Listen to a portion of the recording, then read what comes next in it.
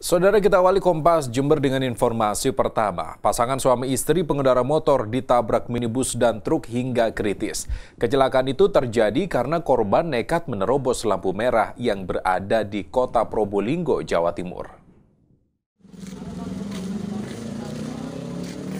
Dari rekaman video amatir ini terlihat suami istri Firman Hadi dan Dewi Nafisa, warga Mayangan kota Probolinggo terpental akibat ditabrak mobil dan truk Keduanya kemudian tergeletak di badan jalan.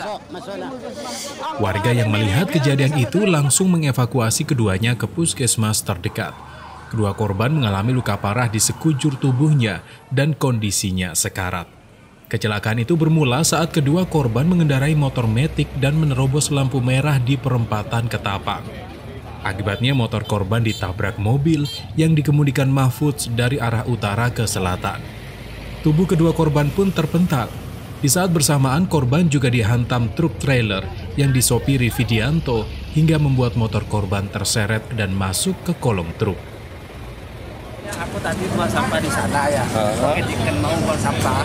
Terus ada bunyi kerabat, saya lari langsung. Ditanya, cerita ya, lari.